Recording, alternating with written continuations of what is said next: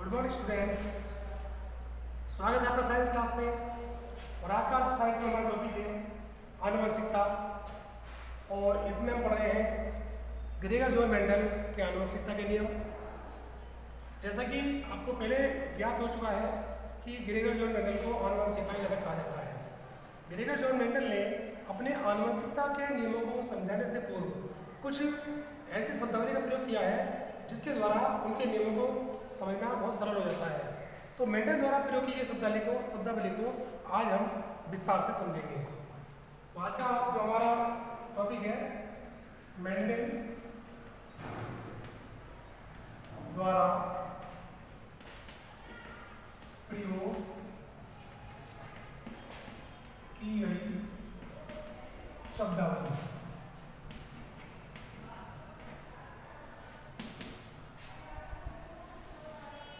Mendel द्वारा प्रयोग की शब्दावली में जो सबसे पहला टर्म है।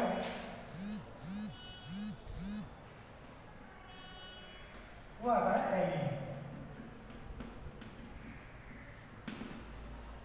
एलिन एलिन किसे कहते हैं?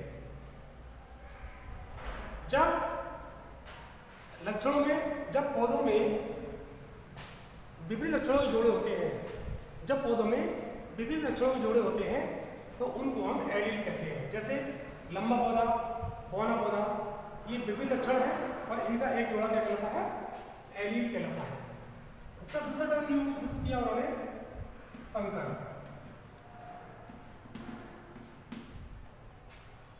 संकर। जब नर और मादा पौधे के बीच निषेचन कराया जाता है तो प्रथम पीढ़ी में उत्पन्न या प्राप्त संतान को संकर कहते हैं। यह सं, यह संतान संकर कहलाती है और इस क्रिया को संकरण कहते हैं। तो इसको एग्ज़ाम्पल क्या समझेंगे। नर पौधे को इस चिन्ह द्वारा दर्शाते हैं और मादा पौधे को इस चिन्ह द्वारा दर्शाते हैं। नर पौधे में पराक्रम का निर्माण होता है। तो नर पौधे में का जो ज़ीरो टाइप है वो capital T capital T number पौधे के लिए। और दूसरा पौधा जो हमने बोना पौधा लिया है उसका ज़ीरो टाइप है स्मॉल टी स्मॉल टी जब इस पौधे पर पुष्प खिलते हैं तो नर पुष्प पे पराक्रम निर्माण होता है और उसमें पराक्रम बनते हैं, जिनमें गुणसूत्र संख्या पेरेंट से आदि होती है। उसी प्रकार से मानव पौधे में भी युग्मकों का निर्माण होता है और इसमें भी गुणसूत्र संख्या आदि होती है। ये हमारे प्राप्त हो गया जब इन युग्मकों के बीच में क्रॉस करा जाता है, संक्रमण करा जाता है तो प्रथम पीढ़ी संतान में दो विपरीत जीन पहुँचते हैं इसे कहते हैं? संकर ये प्रथम पीढ़ी संतान है जिसे हम एवरेज जनरेशन द्वारा दर्शाते हैं। तो प्रथम पीढ़ी संतानों को हम संकर कहते हैं। अब अगला टर्म यूज़ किया है मैंने लिए? एक संकर संक्रमण एक संकर संक्रमण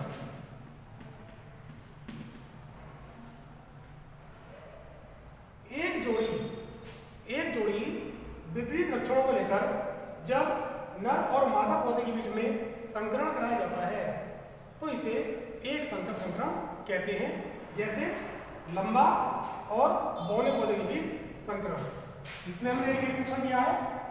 लंबा व बौना पौधे के बीच संक्रमण होता है तो ये कहलाता है एक संकर संक्रमण दूसरा जो टर्म यूज़ किया उन्होंने अगला, वो है द्विसंकर संक्रमण द्विसंकर संक्रमण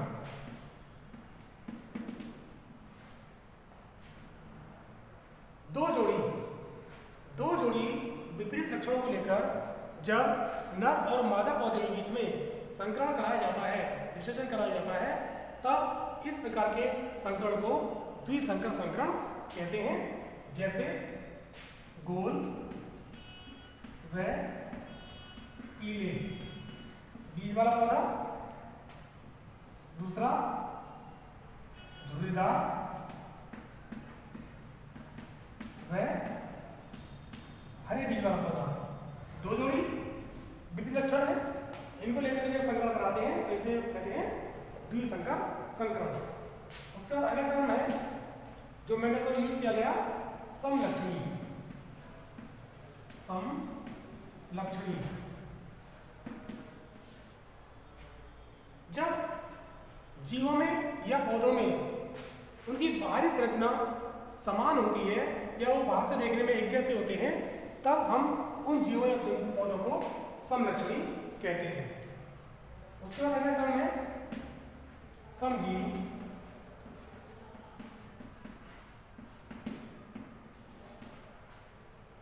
जब जीवों में या पौधों में उनकी जीन संरचना जीन संरचना समान होती है, तब उन्हें समजीनी कहते हैं।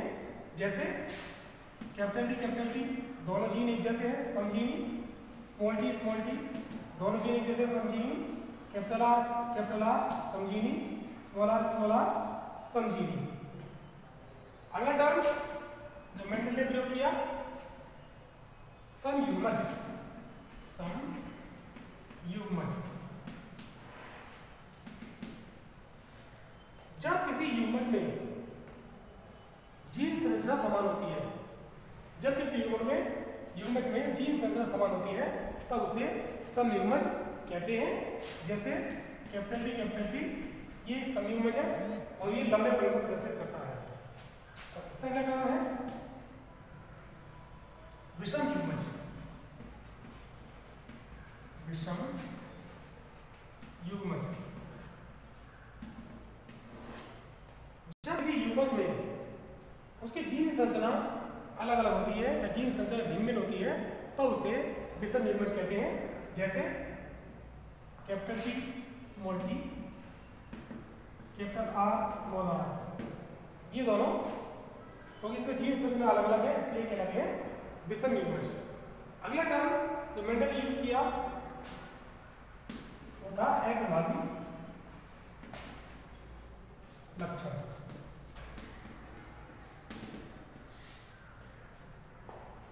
एक संकर संकरण में ये आपके सामने एक संकर संकरण है जब एक संकर संकरण में नर और मादा यानी लंबे और बोने पौधे के बीच संकरण कराया जाता है तो पीढ़ी में जो लक्षण उपस्थित रहते हुए भी स्वयं को प्रदर्शित ना करें, तब ऐसा लक्षण अप्रभावी कहलाता है।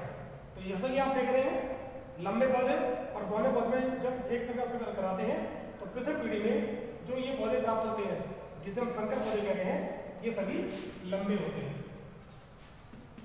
और इनमें बौने पौधे का लक्षण, बौने पौधे का लक्षण है स्मॉल वो उपस्थित है, लेकिन फिर भी अपने आप को प्रदर्शित नहीं कर रहा है।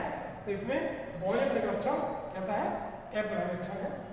तो इसमें का जो लक्षण है, वो अप्रभावी है। अगला तरह जो मैंने यूज़ किया, वो था प्रभावी लक्षण। प्रभावी लक्षण।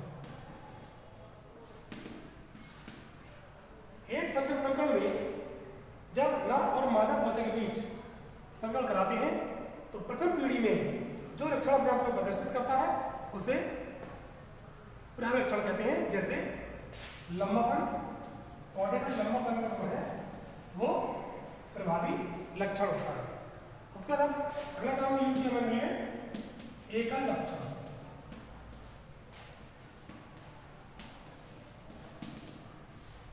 एक लक्षण। अनेक पीढ़ियों तक संकरण कराने के बाद भी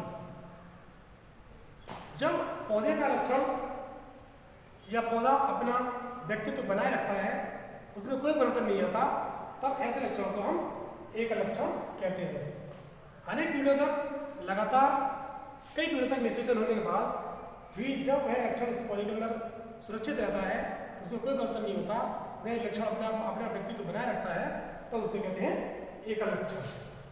इससे ज़्यादा जो मैंने यूज़ किया, वो था संकर पूर्वज संकर जैसा कि आपको नाम से प्रदर्शित हो रहा संकर पूर्वज संकर इसमें जब प्रथम पीढ़ी के संकर पौधे का संकरण किसी अपने पूर्वज पौधे से कराया जाता है, तब उसे संकर पूर्वज संकरण कहते हैं, जैसे small T, capital small T का संक्रमण उसके किसी भी जनक पौधे से। कराने पर यह कहलाता है, संकर पूर्वज संक्रमण। और इससे जो अगला टर्म मैंने यूज़ किया, वो है परीक्षण संक्रमण।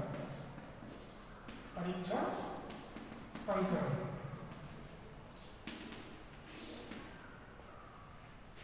किस प्रकार के संक्रमण है जब प्रथम पीढ़ी के पौधे का संक्रमण, उसके अप्रभावी जनक के साथ कराया जाता है।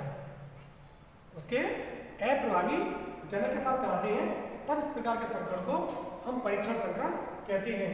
जैसे प्रथम पीढ़ी इसका संक्रमण उसके अप्रभावी जनक, यानी स्मॉल टी के साथ ये कहलाता है परीक्षण संक्रमण या टेस्ट क्रॉस और जो मेंटल का, जो शब्दावली का लास्ट टर्म है, वो है बहुसंकर संक्रमण बहुसंकर संक्रमण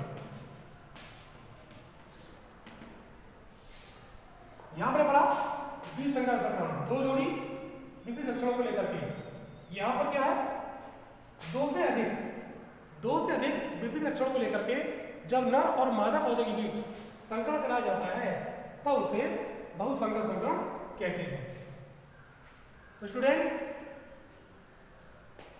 मैंने द्वारा प्रयोग की गई जो शब्दावली है उसके बारे में आपको विस्तार से समझाया गया। आशा करता हूँ आज का जो ये टॉपिक है, आपको ठीक तरह से समझ गया होगा। टॉपिक को और ठीक तरह से समझने के लिए आप वीडियो को रिपीट कर सकते हैं। वीडियो पसंद आए तो इसे लाइक कीजिए और अपना कॉलेज का यूट्यूब चैनल उसे सब्सक्राइब कीजिए। धन्यवाद।